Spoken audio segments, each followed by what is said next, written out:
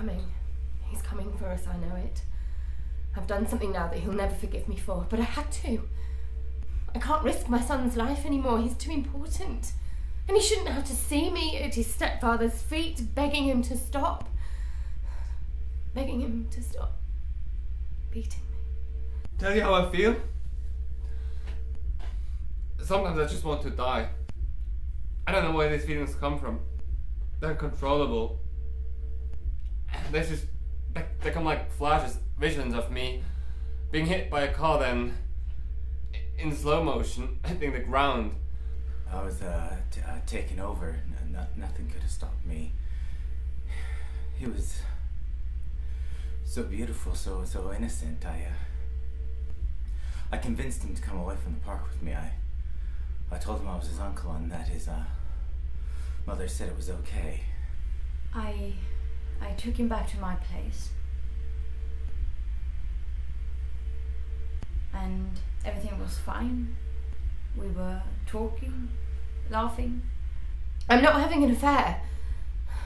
I, I've always behaved obediently and, and been a good person towards him, and I don't know why he's doing this. I don't know why he hates us. I mean, he, he says he doesn't, but he must do. Why else would he punish us like this? The worst part of it is this feeling of relief, happiness that I'm lying there, bleeding from my head, gradually dying. Really fucked up, I know. We talked about the weather, about his mother, about where he goes to school, what kind of films he likes. I wasn't intending to lure him. I just wanted to talk to him, just to you know get to know him. I relate to kids better than I do to adults. They're fresh and uncorrupted by the world. But then he started to grope me and, and, and putting his hands inside of me. And I said, I, I really don't want to do this. But then he started to get frustrated and, and pushed me against the wall, roughly kissing my neck and, and biting me. He, he came home from the pub drunk. My son was in bed and I had a I had a glass of wine in the sitting room. I, I normally have to have a couple of bottles before he gets back just to be able to deal with the violence. The whole image is set up predominantly the same theme. I, I mean, I'm just worthless. People think I'm weird. I, I do wonder though if, if I slip my wrist and let life just run out, would uh, anyone give a damn? We were about a mile from the park, which I was relieved about because uh, I didn't want to be disturbed at all. And um, we played hide and seek, and then we went and got some food, and uh, I convinced him to come to my place and see my f- selection of films, and told him I'd take him home after that. But then he restrained me. And he slung me to the couch. And I started kicking and, and punching him.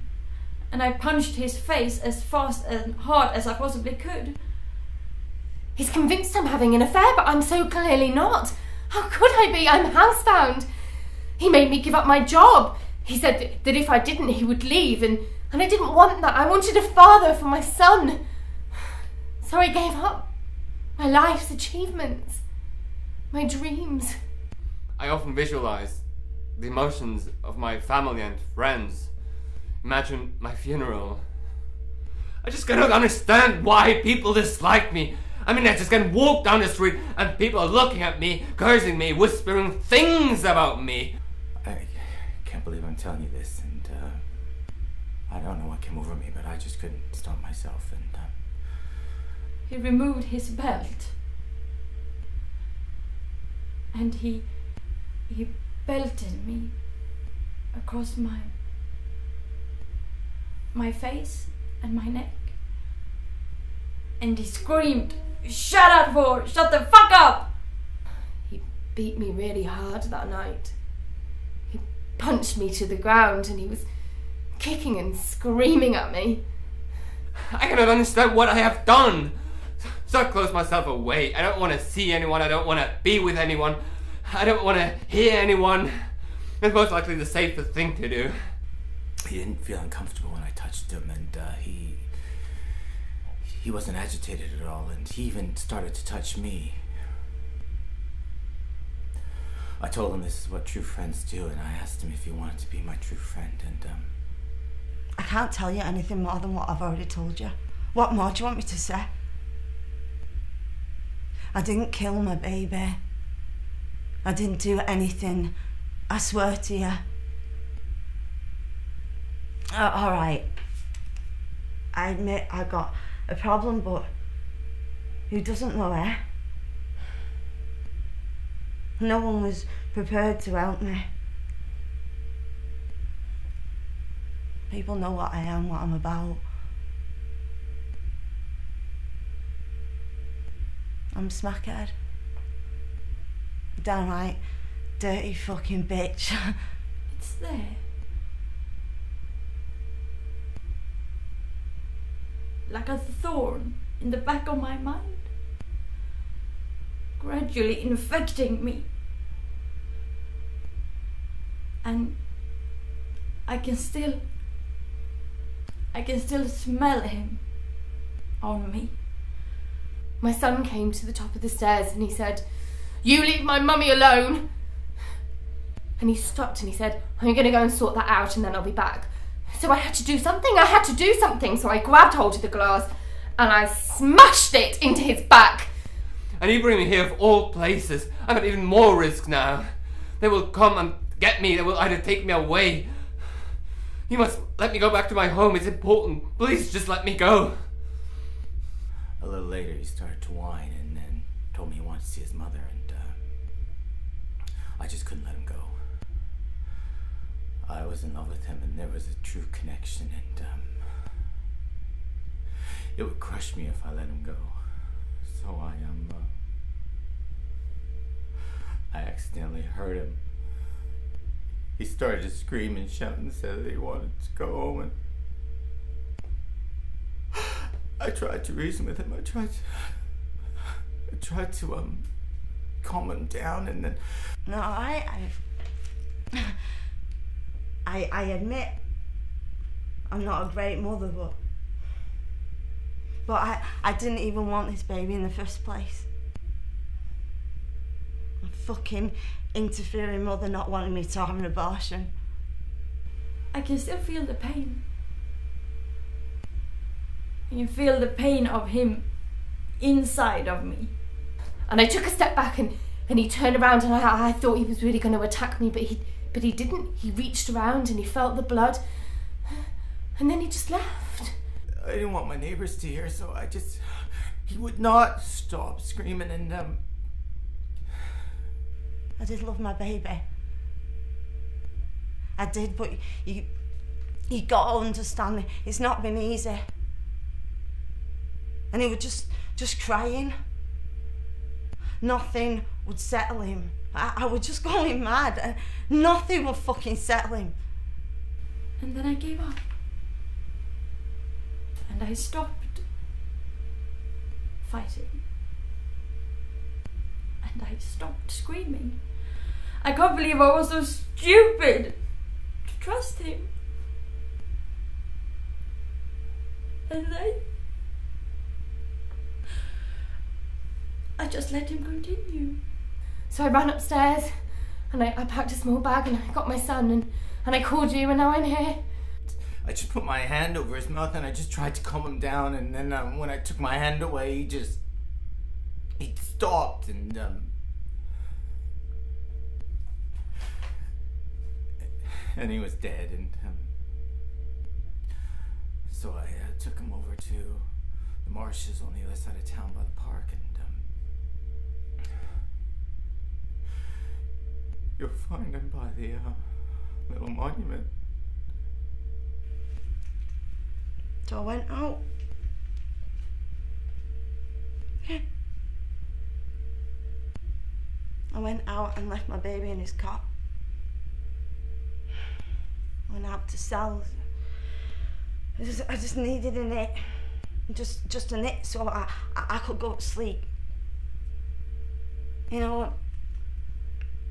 That that feeling where where everything disappears. Where you feel normal again. Anyway. Um couple of couple hours later goes back home, brings back an ex for a session. Where do I go now? I wanted to stop. I really do, but I can see him and feel him every time I close my eyes. I wanted to just stop. But it doesn't.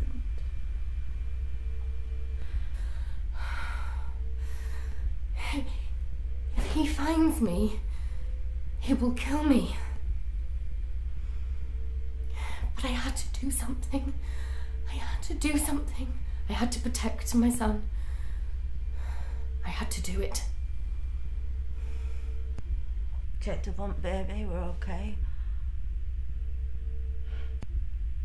Must have exhausted himself crying and fallen asleep. That night I got wasted and I had sex.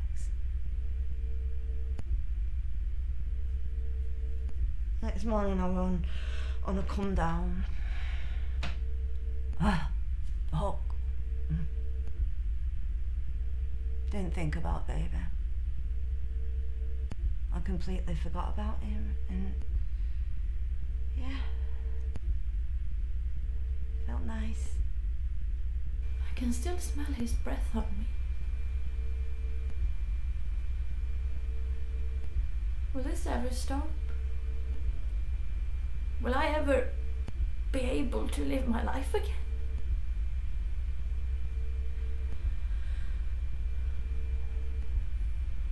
Later I went into his room and my baby were blue. Lifeless. Cold and lifeless, just lying there. Wrapped up in it. I'm sorry. I'm just so sorry. I didn't intend to hurt him. I, Thought were a dream. I thought was fucking dreaming. Do I have to fucking continue? Do I have to continue? What more do you want me to say? Fuck. I know. I know that I'm a bad mother. I, I, I, I, I can't. I can't take this now. Will you, will you just leave me alone, please? Please. Please just leave me alone. I just. I just. Just. Just. Just do. Do what you, you think necessary to do. Nothing matters to me anymore. Nothing at all. I don't know what came over me and. Uh, what was gonna happen to me?